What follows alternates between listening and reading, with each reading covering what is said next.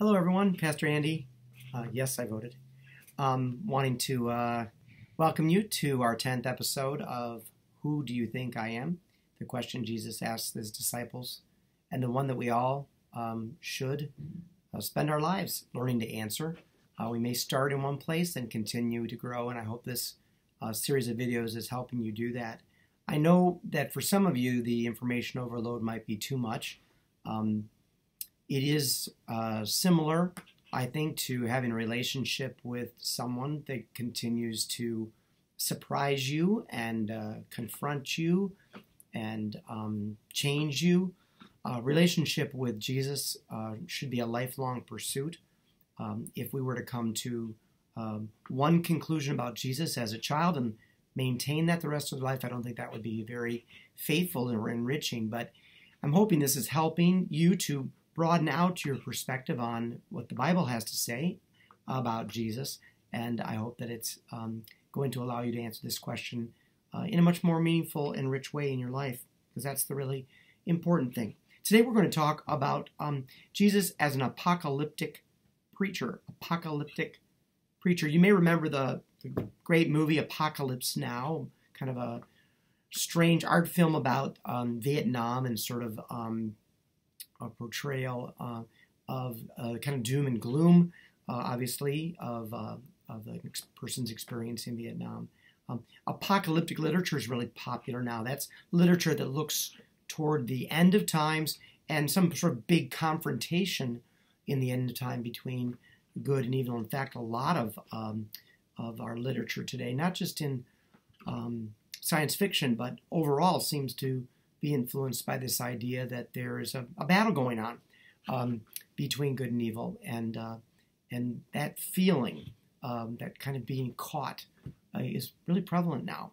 Well, I want to say that's the kind of feeling that was um, occurring in the years before Jesus arrived on the scene, and it, it came out of a very specific uh, conundrum that the Jews were facing. They were the chosen people, but for most of their history, they felt like very much the rejected people. Um, one conclusion what they they came to was we're rejected by God because we keep sinning. He gives us every opportunity to to get into the um, escape Egypt and then we complain about it. To get into the wilderness and then we build a golden calf. To get into the promised land and we worship other gods. To get our own king and then our king doesn't be, uh, um, worship God. So the prophetic answer to why do bad things keep happening to the chosen people was that they were sinners, and the way back to grace, the way back to um, a positive experience uh, of life again in the covenant with God is to stop sinning and to repent and to um, trust God once again. It's a great answer, an answer that uh, we can readily relate to. But there was another answer also, and this answer I think came out of a unique experience of people who felt that they were particularly being persecuted because they were faithful. It was their faithfulness, not their unfaithfulness, but their faithfulness that was causing them to be persecuted. That is, that they were Jewish people and their enemies were against Jewish people. What's changed, right? People still in the Jewish family still often feel that very thing. Um, there's there's certainly um, a sense that um, good people are suffering for no good reason. And so they had to come up with a, a, conclusion. If they weren't the cause of it, what was the cause? And, and this is where they came up with answer number two, which is the apocalyptic answer. Okay, the apocalyptic answer is there's a war between bad and good, and we're caught right now in a world that represents the bad. God is the good. We're caught on the bad side of this war. But don't worry, in apocalyptic literature, in the midst of all these struggles and fights and, and everything going on that's painful and awful, God's going to win. And God's coming, and He's coming. The, the, the ways we see this in, is in the book of Daniel, and some of the books that are called the Apocrypha that take place in between the end of the Old Testament books and the beginning of the New Testament. Yes, there are books that were written during that time. They just didn't make the cut for many reasons, but maybe we should look at them. They're often apocalyptic. They're often experiencing um, great persecution for being Jews and coming to the conclusion, you know what? God's going to intervene. God's going to intervene. God is coming. Daniel called it a son of man will come and he will set things right. a son of man. We know that uh, term, don't we? It's a term that's going to be used by Jesus and then also ascribed to Jesus. Um, but I'm getting ahead of myself. Daniel talked about the Son of Man uh, as some type of figure coming at the apex of the conflict, and then the victory begins. The victory begins.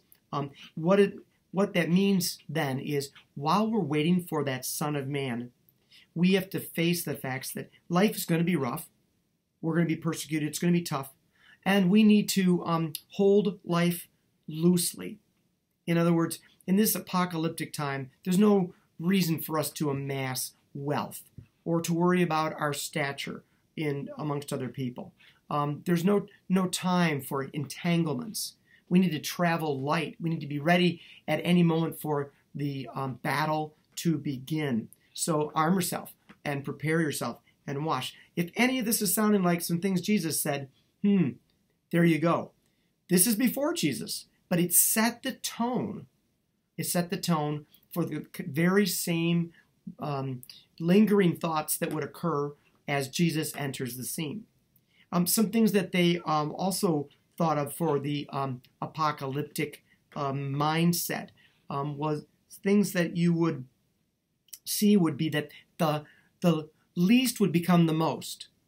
That is, those caught um, at the bottom of this grinding, terrible, evil world are going to get lifted up and turn around. Remember, Mary says the rich and the poor, the, they'll fall from their thrones. There'll be a reversal.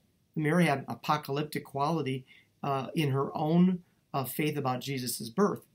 Um, the last will become first in this apocalypse. God will turn everything around. Um, he'll turn the tables. Those who are seated at the head of the table will find themselves at the foot of the table, turning the tables. So, what do you want to do in the apocalyptic experience when you're uh, hanging in there? Well, associate yourself with the least. Don't strive for power and greatness. Strive to be the servant of all. Strive to um, be um, blameless. Um, don't associate yourself with the power of the temple, but with the piety of your own soul. Um, that the overall uh, law, the system of rules, is falling apart. It will be over. It was only necessary until God comes again. But the new law will be a law that is one of love and mercy and justice. Again, do you hear any echoes of where Jesus is going to end up preaching? So, this apocalyptic um, time uh, sets a stage for when John the Baptist comes onto the scene. The uh, the group he's most closely associated with were really apocalyptic. The Essenes, they had left Jerusalem entirely and moved out to the wilderness to wait kind of for the arrival in the Messiah, who was a, a kind of apocalyptic figure, but more of a human figure than we normally think of, an actual leader, a, a battle warrior, a general, or this son of man, this son of man who would be more of a um, surprisingly, the Son of Man is more like a divine figure um, who would come and uh, lead uh, this uh, final apocalypse. They had left Jerusalem because Jerusalem's going to be judged, and they wanted to be out in the um, place of holiness of the uh, desert. John comes out, repent, he says, turn around, turn the tables, get on the right side of things because the kingdom is coming. Is this apocalyptic type preaching? Yes.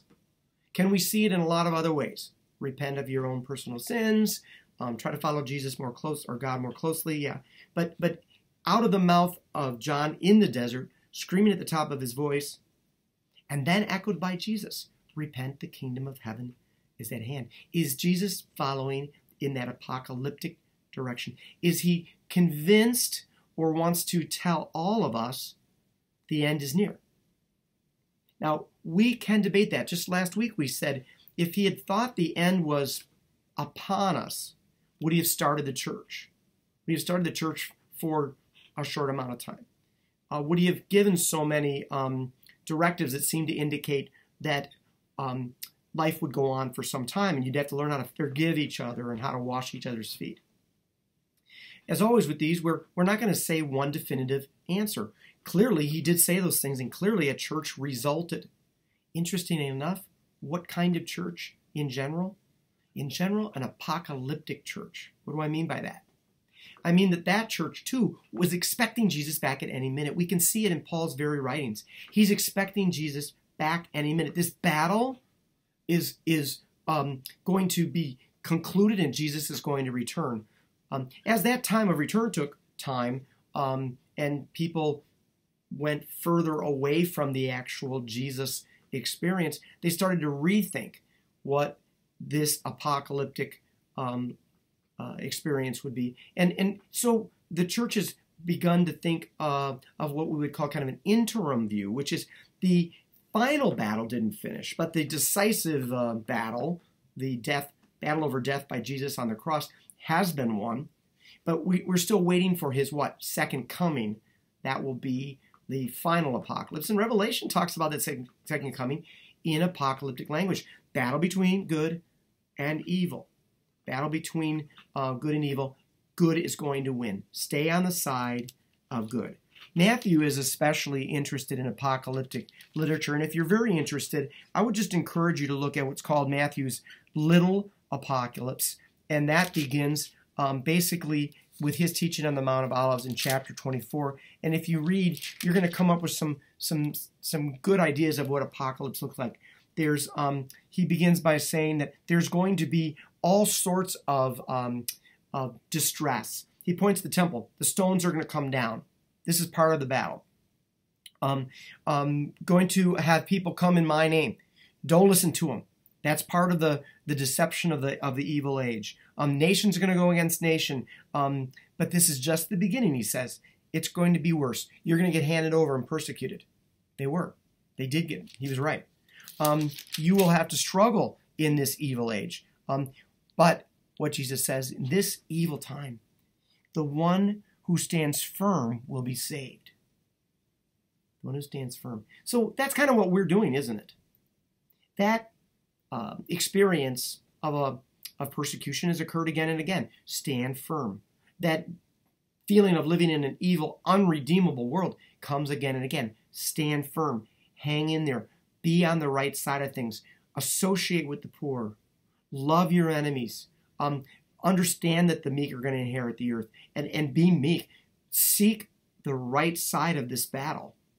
God is going to end up coming in victory. And God's going to end up um, when Jesus comes again, bringing this all to a conclusion. What it looks like, John's uh, revelation, maybe, maybe very much like that. Maybe that's symbolic uh, language for what we can't even imagine will happen. Um, what should we do until then?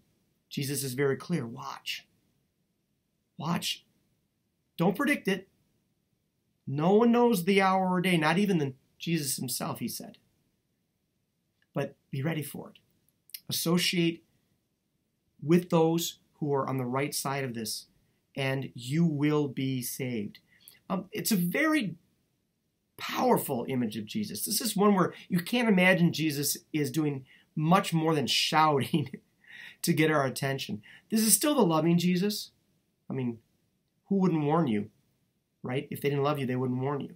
He, he's the one who believes that the ethic of how we live um, is an ethic of love in this interim. He doesn't say stop loving people, but he also says let go of the things that don't matter. Seek again, we go back to the kingdom of heaven. And I will uh, be back in that final victorious conclusion. Some of you may still be around when I do. And it's powerful, powerful thought. So um, I hope this apocalyptic Jesus, the, the end is near, holding the sign in the street corner kind of Jesus, is, is not one that you turn away from or one that you reject, but rather one that you listen to. Sometimes people grow cold. As Jesus said, um, beware of the increase of wickedness, the love of most will grow cold. Do not let yourself grow cold during this time, but be on fire and say, Come, Lord Jesus, I'm ready. Until then, I'm going to follow you.